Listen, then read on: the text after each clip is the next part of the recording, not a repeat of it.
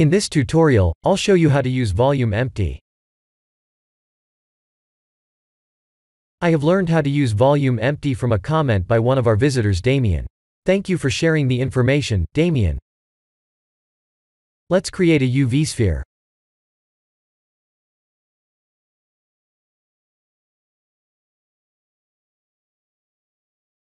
Let's create a volume empty object.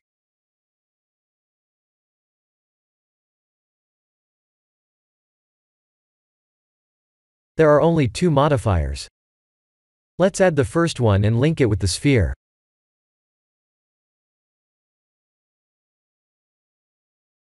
Basically, volume empty adds a volumetric cloud around a selected object.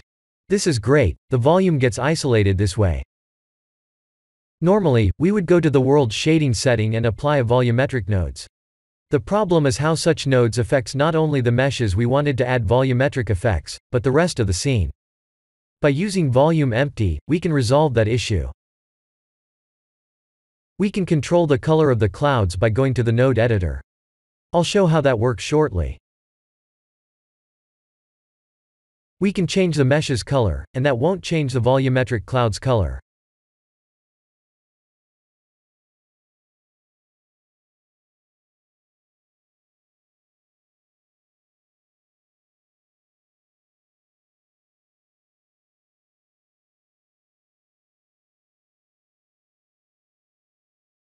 This is how we change the color of the cloud.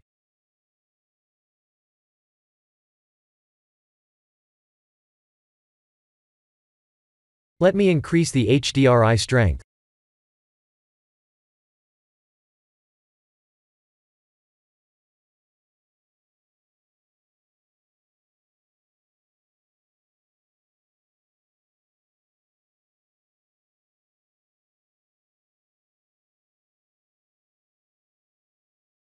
Let's add the displace modifier for volume empty.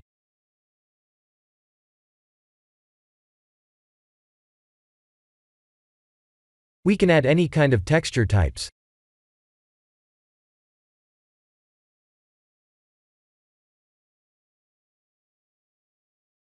The overall shape of the cloud can change by changing the modifier settings like this.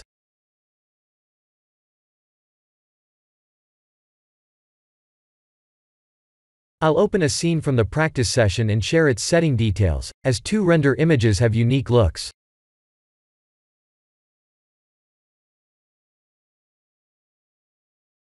Please experiment with the settings to produce the best results.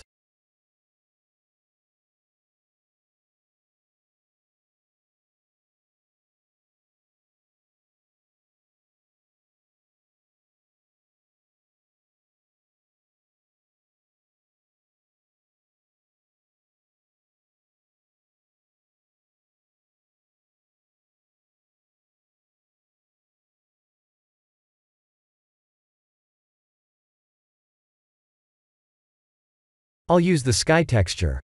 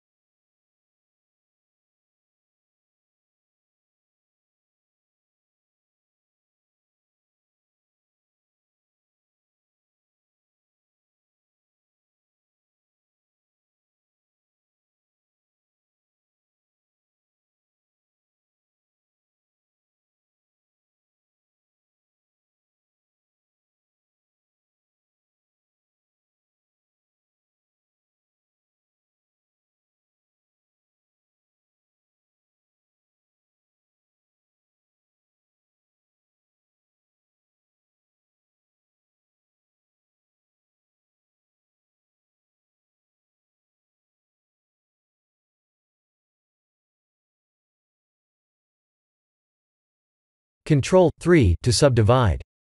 Right-click and shade smooth to smooth the surface.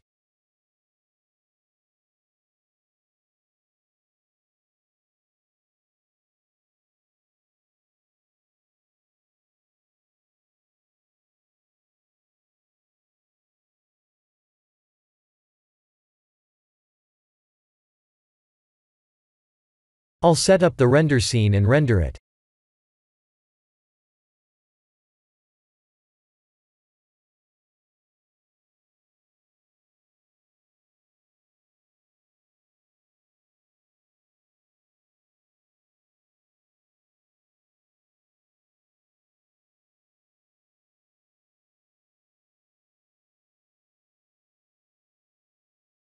I'll add a background plane.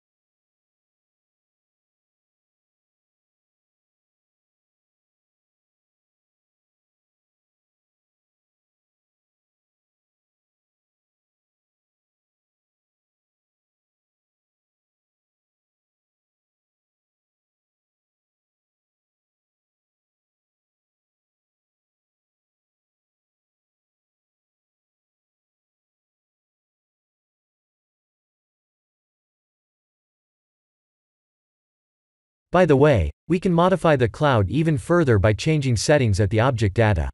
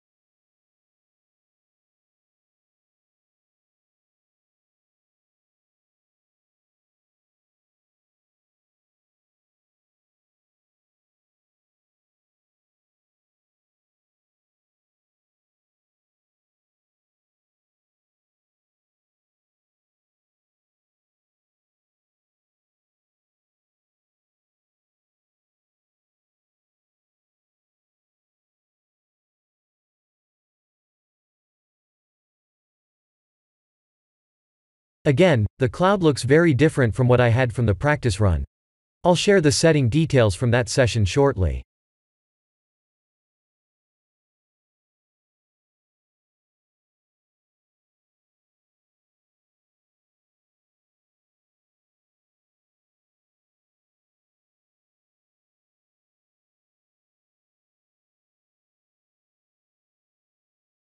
This is the result. Let's see what I had on the practice run. By changing the settings, we can have completely different effects. I'll share the setting details from the practice session.